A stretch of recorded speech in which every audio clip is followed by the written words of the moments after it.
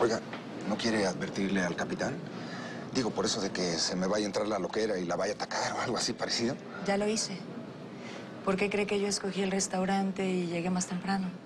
Y, y en mi bolso guardo una pistola con dardos tranquilizantes y le advierto que tengo muy buena puntería. Vaya, qué método tan peculiar para curar a sus pacientes. Si no le sale la psicología, lo agarra a dardazos así tranquilizantes. Exactamente. Y lo tranquiliza como si fuera una fiera salvaje, ¿no? Pero tengo métodos mucho más sutiles cuando atiendo a mis pacientes en el consultorio. Ah, no me va a perdonar que le haya sacado de ahí, ¿verdad? No. ¿Qué, qué es inusual? Eh, No, no, es que las reglas de mi profesión a los pacientes se les recibe en el consultorio normalmente. ¿Y entonces por qué aceptó mi invitación?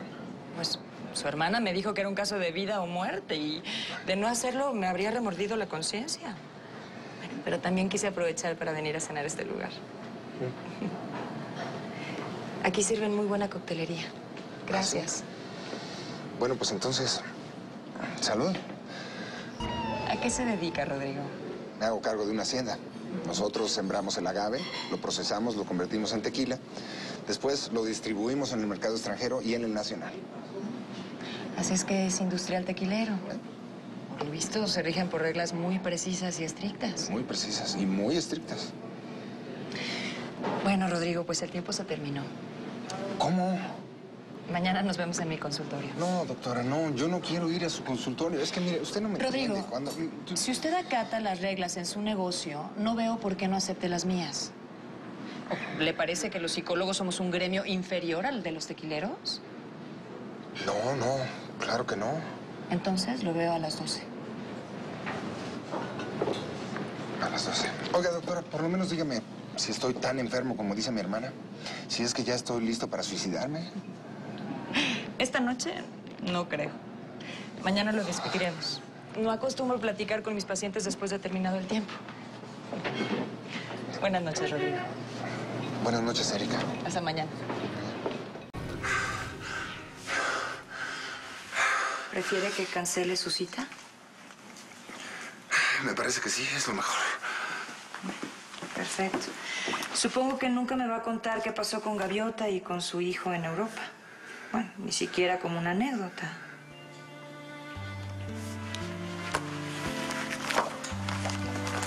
Sí, se lo voy a contar. En la siguiente sesión, pero por favor que no sea aquí en su consultorio. La invito a cenar al obelisco. La veo ahí a las 8 de la noche. No se rinde, ¿verdad, señor Montalvo? A las 8.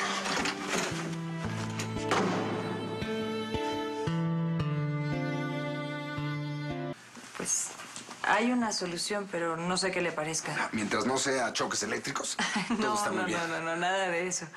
Pero a veces atiendo pacientes en un hotel de reposo que está en Morelos, ahí en la Sierra de Tepoztlán. Ah.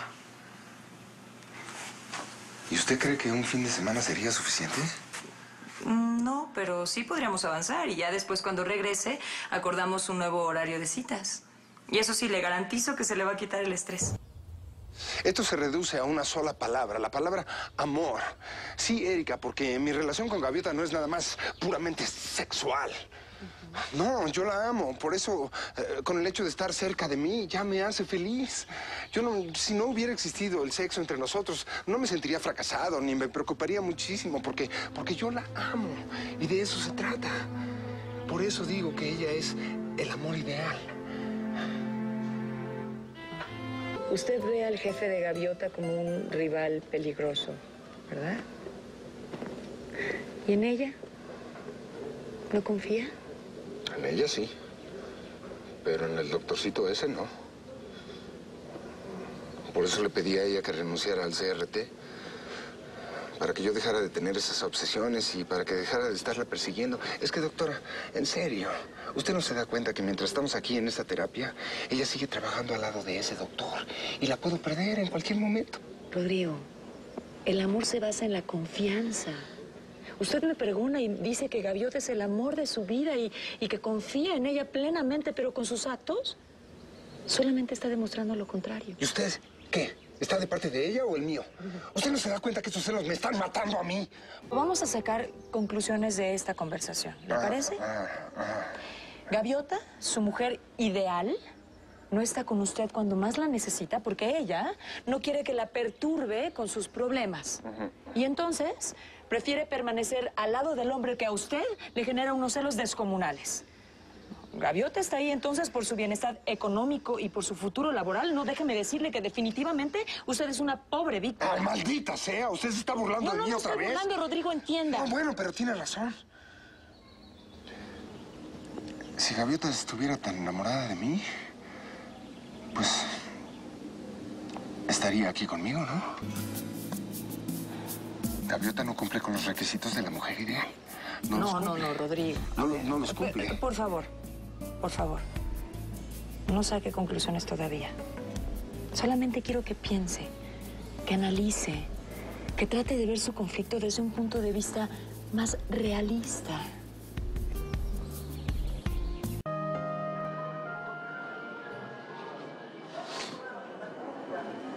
Ay.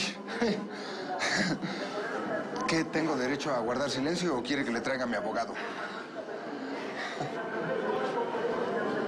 ¿Qué le pasó, Rodrigo? ¿Por qué se fue del hotel? Pues es que ese lugar como que no es muy bueno para recibir malas noticias. Bueno, a ver, dígame cuáles fueron esas malas noticias que recibió. No, no, no. Bueno, lo que pasa es que quizás escuché cosas que jamás en mi vida me había imaginado que iba a escuchar. O reflexionó sobre asuntos que siempre había evadido, ¿no? Bueno, para el efecto da lo mismo. Es que de verdad me preocupa usted. ¿Yo? Sí. ¿Como paciente o como amigo? Pues como, como paciente, como, como amigo. ¿Y por qué no se queda conmigo? ¿Sabe qué? Me voy a quedar. ¡Ya llegó la banda! ¡Ya llegó la banda! nosotros ya nos vamos.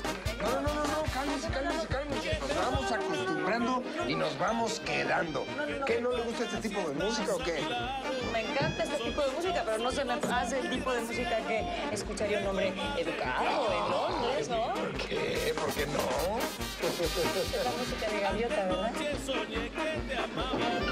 Pues, pues, sí, sí, Gaviota me, me enseñó a conocer este tipo de música. Gaviota me regresó a mis raíces. Ya, ¿qué, pero qué, qué bárbaro. Tiene que ¡Qué barbaridad! Se llevó la botella enterita. A ver, préstame está. Ay, por favor. Pues van a re- ay, doctora. Su aroma me Le- Levántese. Rodrigo. Ay, su perfume me vuelve loco. Totalmente me vuelve loco. Mañana a las nueve. Mañana a las nueve. No, no, no, no, quédeselo, quédeselo. No se me vaya a resfriar, doctora.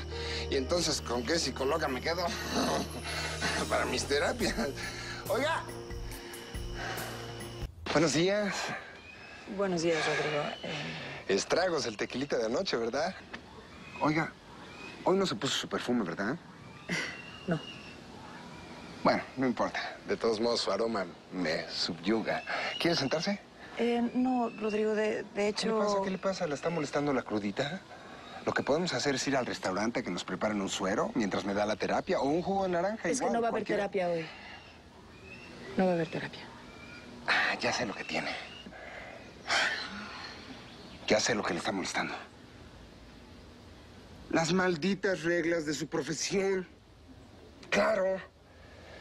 Mire, doctora, yo anoche estaba hundido en un, en un- en un abismo de, de depresión y usted me sacó adelante.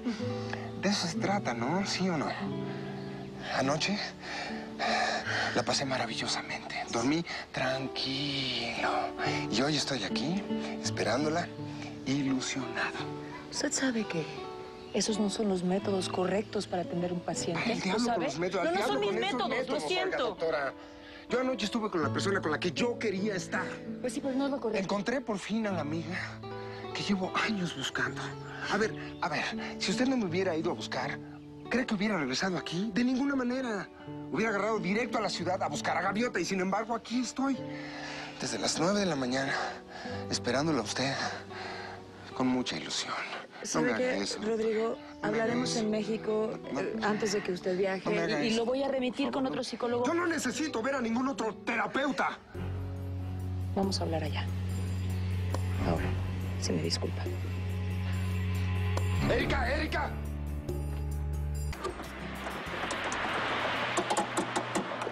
No se preocupe, vengo en son de paz. ¿Qué hace aquí, Rodrigo? ¿Qué hago aquí? Fíjese que de pura casualidad me quedé con su mascada. Bueno, pues gracias. ¿De nada? Que le vaya bien. ¿Que me vaya bien? Sí, me va a ir muy bien si me permite que hablemos, oiga. Rodrigo, no hay nada más que decir. ¿Pero por qué? ¿Por qué? Pues, ¿qué le hice? ¿Por qué está tan enojada conmigo? No, no, no estoy enojada con usted, estoy molesta conmigo misma. Es que no debí dejarme manipular. Llegamos demasiado lejos y... Bueno, es que ahora entiende por qué una psicóloga no debe salir de su consultorio.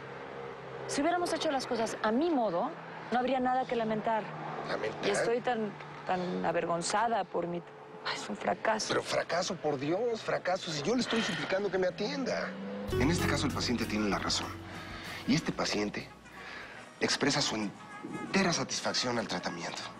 Se supone que usted me iba a ayudar a olvidar a Gaviota y, y mire, estoy así, así de cerquitita para poderlo olvidar. Pero no como psicóloga, como amiga, como mujer, y eso, eso no es correcto.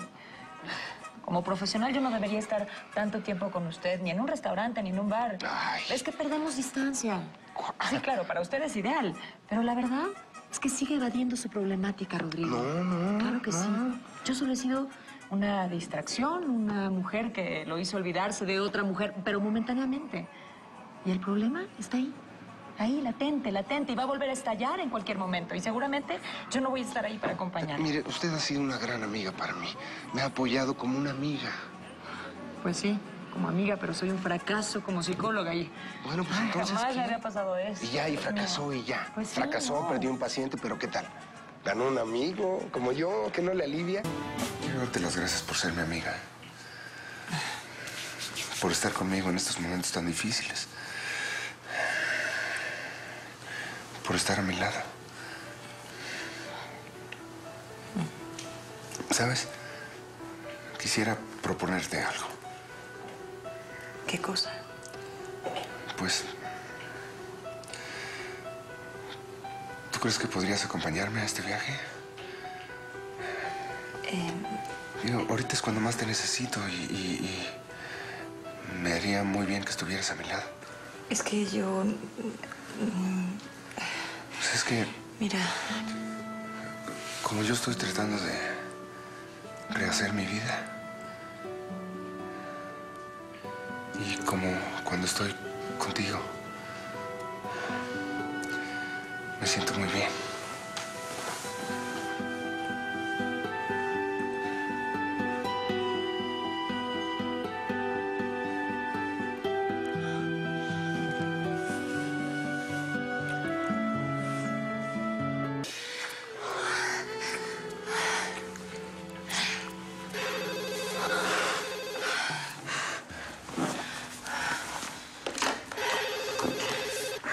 Bueno, ¿E- ¿Erika? Eh, Sí, ¿quién habla? Soy Daniela Montalvo. Perdón, ¿te desperté? No, no hay problema, Daniela. Mira, perdona que te moleste, pero estamos muy preocupadas. ¿Has sabido algo de mi hermano? Sí, Daniela, aquí está. Ah, dile por favor que yo después lo llamo. Eh, Dice que después te llama. ¿Pero está bien? Sí, sí está bien, Daniela, no te preocupes. Mm, bueno, entonces creo que no hay más preguntas. Eh, buenas noches, gracias. Que descanses. Qué bárbara, ¿no? Qué llamada tan inoportuna, como que... Yo te advertí que te estaban buscando. Me imagino que ahora que ya saben que estoy bien, pues... No nos volverán a interrumpir. Rodrigo, Rodrigo, Rodrigo, Rodrigo, Rodrigo, Rodrigo. Perdóname, pero es que yo necesito tiempo y, y- y tú también. No me siento preparada para esto, ¿me Está bien, entiendes? está bien. Tienes razón. Tienes toda la razón. Es que Mira, no, no me malinterpretes, esto es maravilloso, pero Yo, yo solamente quisiera que esto no afectara nuestra amistad. Me parece que me propasé, pero No, no, sé, no te cuando estábamos propasaste. ahí sentí algo que, que hace mucho tiempo, ¿no? Perdóname, no, perdóname. de Mejor verdad que es me mar- vaya, es, es mejor que me vaya. ¿Pero por qué, Rodrigo? Porque no quiero molestarte. Erika. Es- yo- A ver, a ver, ¿dónde vas a ir? No sé, a cualquier lugar, menos a mi departamento o a la casa de mi abuela, a cualquier lugar. Créeme, no me siento ofendida de verdad. Tú acabas de pasar por algo realmente doloroso y lo tienes que asumir. ¿No y- crees que me propasé contigo? No, no. Y yo no me sentiría tranquila si andas por ahí solo. De verdad, si quieres, quédate. ¿De veras? ¿No hay ningún problema? Somos lo suficientemente maduros Eso, para controlar estos impulsos, ¿no? Bueno, espérame un momento aquí. Voy a ir por una almohada y una cobija para que te recuestes en la sala. Sí. Ajá.